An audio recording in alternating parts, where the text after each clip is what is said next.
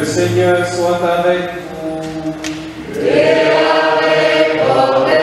Évangile de Jésus-Christ selon Saint Matthieu.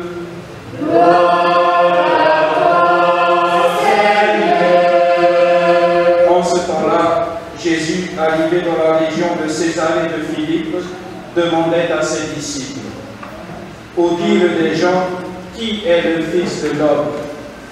Il répondit, Pour les uns, Jean le Baptiste, pour d'autres, Élie, pour d'autres encore, Jérémie ou l'un des prophètes. Jésus leur demanda, Et vous, que dites-vous Pour vous, qui suis-je? Alors Simon-Pierre prit la parole et dit, Tu es le Christ, le Fils du Dieu vivant. Prenant la parole à son tour, Jésus dit, Heureux es-tu, Simon, fils de Jonas. Ce n'est pas la chair et le sang qui t'ont révélé cela, mais mon Père qui est aux cieux. Et moi, je te le déclare, tu es Pierre, et sur cette pierre je bâtirai mon Église. Et la puissance de la mort ne l'emportera pas sur elle. Je te donnerai les clés du royaume des cieux. Tout ce que tu auras lié sur la terre sera lié dans les cieux, et tout ce que tu auras délié sur la terre sera délié dans les cieux. Acclamons la parole de Dieu. Frères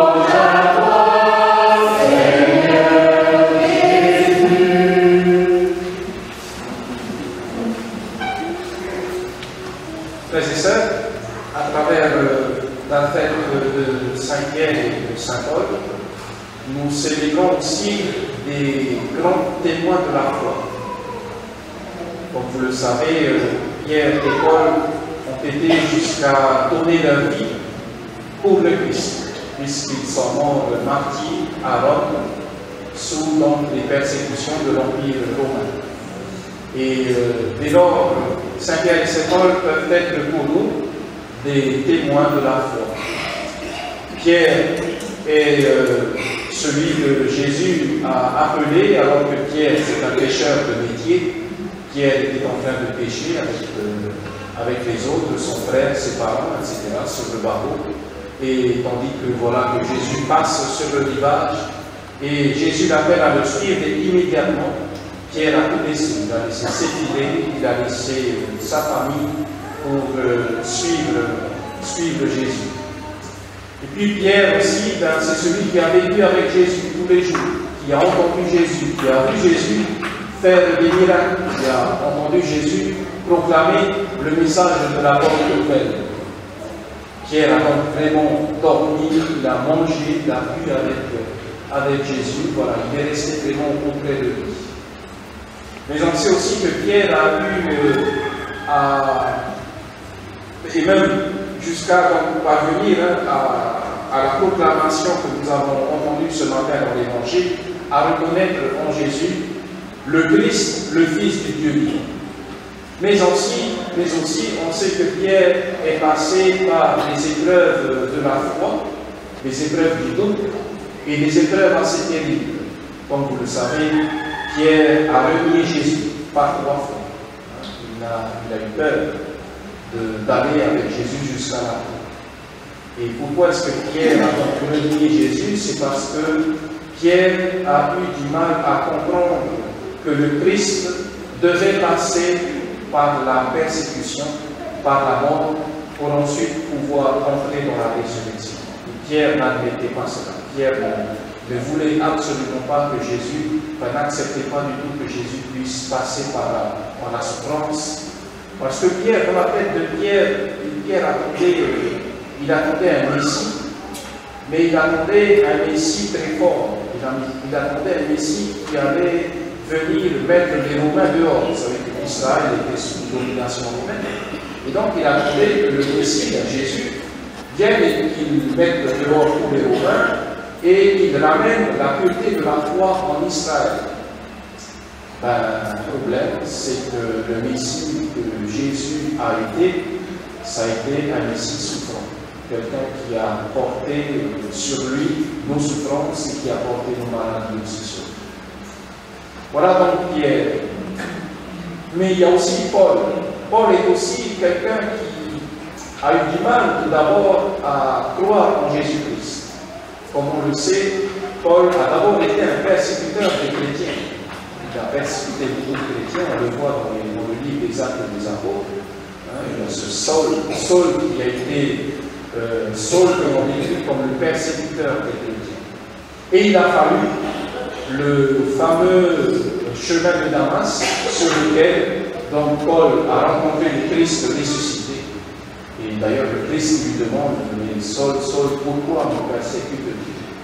Il a fallu cette apparition à Paul pour que Paul se convertisse et qu'il devienne vraiment le, grand témoin de la foi. On sait que de Paul, on a l'héritage de toutes ces lettres qu'il a adressées aux communautés romaines, à Corinthe, à Éphèse, etc., aux, aux Colossiens et d'autres encore.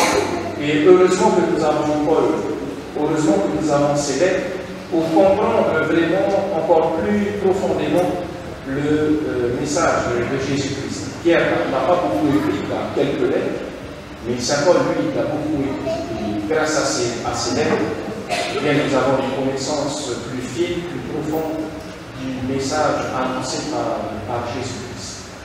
Donc voilà, euh, Pierre et Paul euh, qui, euh, au final, ont donné tous les deux leur vie pour le Christ. Pierre et Paul sont morts dans les années 63, les années 63-67 à Rome. Et c'est d'ailleurs pour cela, pourquoi est-ce que le, centre de l'Église, c'est Rome et non pas Jérusalem, alors que, Jésus est mort à Jérusalem, mais le centre de l'Église, c'est Rome. Et pourquoi? Parce que c'est là que Pierre et Paul ont donné leur. Si vous allez, peut-être d'entre vous qui sont allés au Vatican, si vous allez au Vatican, vous regardez au centre de la place du Vatican, il y a une grande colonne, une immense colonne. Et c'est une colonne qui était déjà là quand Pierre est mort. C'est donc l'une des dernières choses que Pierre a vues avant de mourir. De même que Paul, il y a une grande basilique à, Rome, que l'on appelle Saint Paul Cornelius, qui témoigne du lieu où Saint Paul aussi a été tué. pourquoi est-ce que les chrétiens ont été, pourquoi Pierre et Paul ont été tués à cette époque-là? C'est parce que dans les années 60, il y a eu un grand incendie dans la ville de Rome, qui a pratiquement presque détruit toute la ville, et l'empereur de cette époque-là, l'empereur Léon, a accusé les chrétiens d'avoir été les auteurs de l'incendie. Donc, il a ordonné des persécutions. Et parmi les gens persécutés, parmi les morts, bien, il y avait Pierre et il y avait aussi Paul.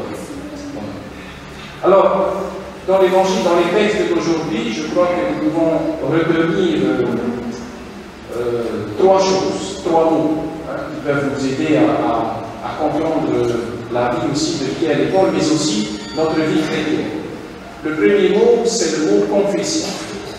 Dans l'Évangile, nous voyons que, que Simon Pierre fait une confession de foi. Tu es le Christ, le Fils du Dieu vivant.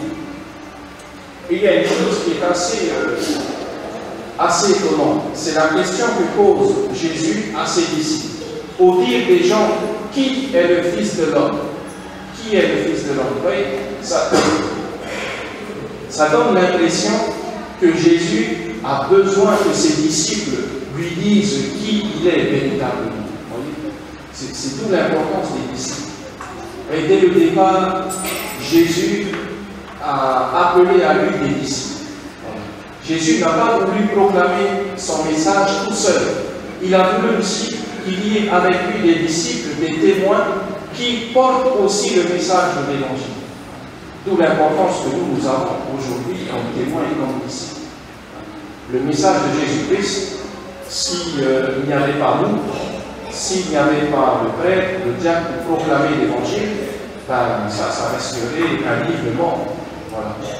Et s'il n'y avait pas les chrétiens qui, dans le monde, témoignaient du message de Jésus, bien la foi chrétienne serait morte.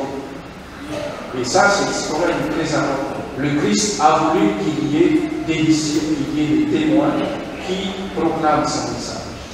une chose justement qui est importante dans la proclamation du message, dès les origines, il y avait deux choses essentielles dans la vie chrétienne. Premièrement, bien sûr, proclamer sa foi et deuxièmement, vivre la charité. Ces deux choses-là sont inséparables. Il n'y a pas de véritable foi sans la charité. Et même sans la charité, il n'y a pas la foi, dans la mesure où la charité, l'amour, c'est Dieu qui nous aide véritablement à aimer. Sans Dieu, dans le fond, on n'est pas capable de vraiment aimer.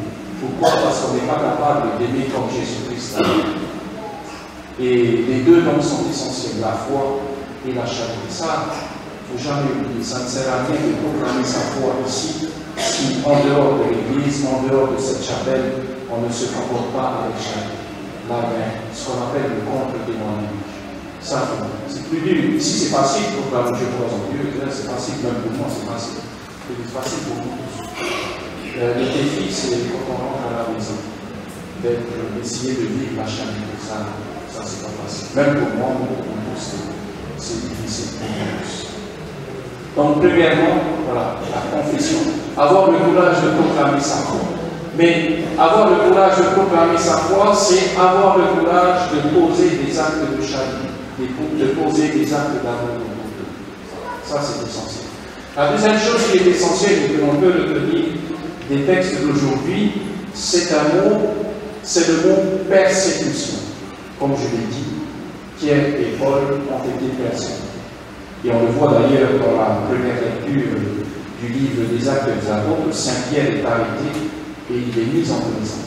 Les persécutions, il y en a eu depuis les origines. Aujourd'hui encore, il y a des chrétiens qui sont persécutés pour leur foi. Ça, c'est important pour nous savoir. Aujourd'hui, ici à Pékin, on célèbre euh, tranquillement ici, en sécurité, mais dans le monde, je pense que vous suivez l'actualité, il y a des chrétiens qui doivent fuir leur maison, fuir leur pays.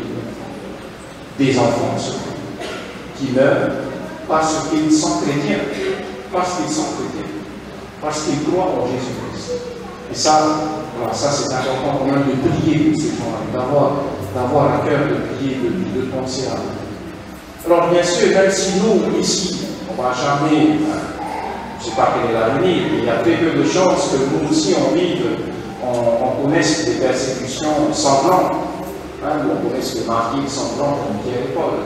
Mais, vous savez, le mot martyr, ce n'est pas forcément le martyr jusqu'au sang. Le, mot martyr en lui-même, c'est un mot qui veut dire témoin, être témoin. Ça, voilà, ça c'est important. Nous allons être des martyrs de la foi, c'est-à-dire des témoins de la foi. Et puis, troisième mot, donc, confession, persécution. Et troisième mot, c'est un mot important aussi pour notre vie chrétienne, c'est le mot prière. Vous savez, dans, le, dans la première lecture, lorsque on dit que Pierre était détenu en prison, on dit en même temps l'Église priait Dieu pour lui avec insistance. Et ça, la prière, c'est ce qui nous aide, dans le fond, à vraiment bien proclamer notre foi et à vraiment poser des actes de charité, à bien comprendre le message de l'évangile. C'est dans la prière et pas la prière. Alors la prière, c'est pas compliqué. Nous, on, fait, on récite plein de formules, on récite la prière à Saint-Michel-Archange, la prière pour les amis de la la prière, etc. Des multitudes de prières. La prière, c'est simple. La prière, c'est un point fondamental du C'est quoi? C'est se, se placer devant Dieu et pouvoir lui adresser une parole, pouvoir l'adorer, pouvoir le. C'est simple. La prière, ce n'est pas, pas être dans l'attention permanente, hein, tendu, il faut que je dise ça, pourquoi j'oublie le, le dessin, pourquoi j'oublie le gloire au Père à la fin de mon rosaire, etc. C'est pas ça la prière. La prière, c'est tranquille.